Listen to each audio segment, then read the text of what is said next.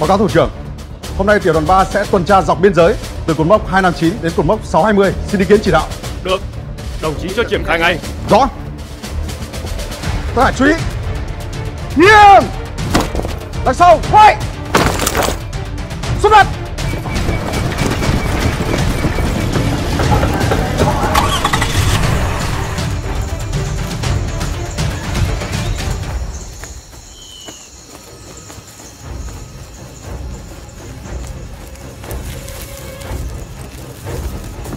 Rớt ra đây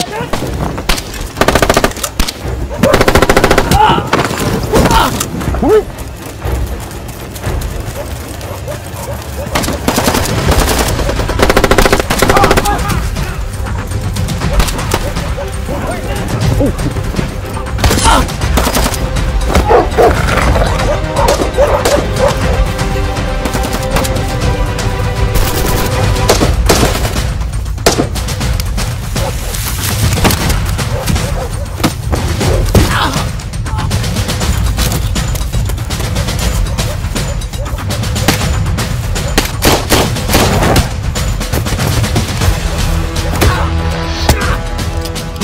Báo cáo, đã xảy ra xung đột với 5 tên, một tên bị tiêu diệt, bốn tên đã được bắt sống.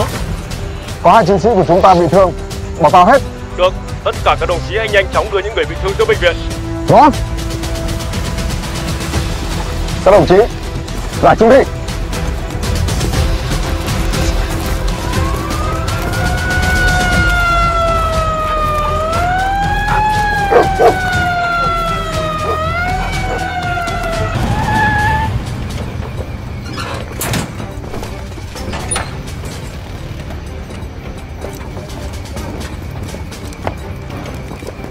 Báo cáo thủ trưởng, chúng tôi bắt được tên này còn lành lặn.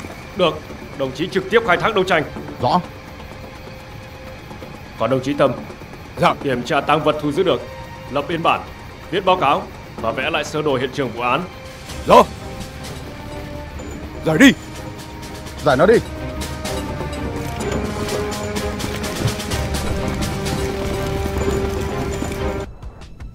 Chúng tôi mang hàng cho ông Chư Chi nào?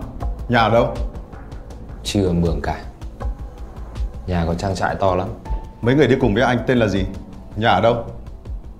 Chúng nó người Trung Quốc Tôi chỉ được thuê dẫn đường đưa chúng sang giao hàng cho ông Chư Giao ở trong trang trại à? Không Giao ở chân đèo Cắn Tỉ Ai nhận hàng? Khi nào giao? Thằng Tuân Người nhà ông Chư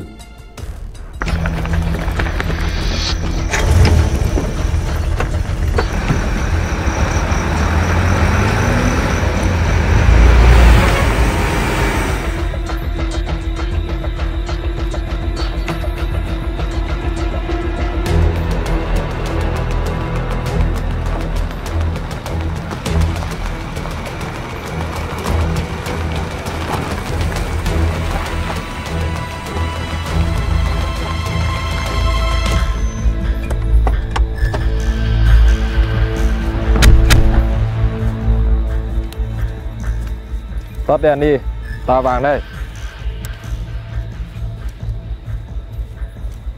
Chuẩn bị đủ tiền chưa? Cho tao xem.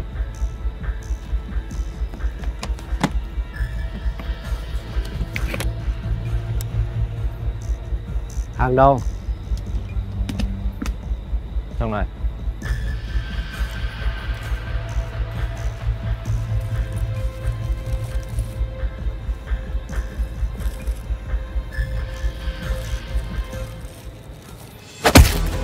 Thả nhị Tất cả bỏ xuống xuống Bỏ xuống Thả nhị tay bắn vỡ cho thằng này. Tất cả bỏ xuống xuống Tất cả bỏ xuống xuống ừ, Tất cả bỏ xuống xuống Bỏ xuống xuống Bỏ xuống xuống Rút ra lên.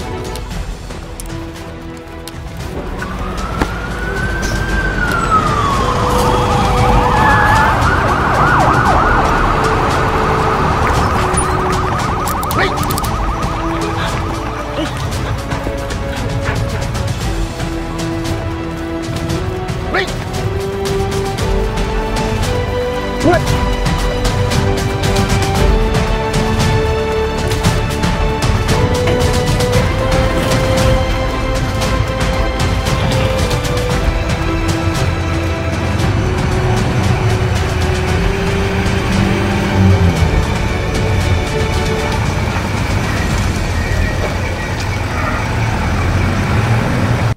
Trong trang trại có bao nhiêu người? Có súng không? Dạ Nói nhanh! Tao không có thời gian đâu! Mồm mày đâu? Hỏi sao không nói hả? Dạ Dạ có khoảng 20 người Nhưng được trang bị súng và lựu đạn ạ Tốt. Nếu chúng mày hợp tác thì sẽ được khoan hồng. Từ đây vào trong trang trại có bao nhiêu chốt gác? Dạ Có hai chốt thôi ạ Nhưng người lạ, xe lạ không vào được đâu ạ Tại sao? Vì các chốt sẽ gọi đàm báo vào trong trang trại Quân ở trong trang trại sẽ phục đánh ngay ạ Đây là con đường độc đạo ạ Tí qua chốt gác, chú ngồi trước phải diễn cho khéo. Đừng để bọn chúng nghi ngờ.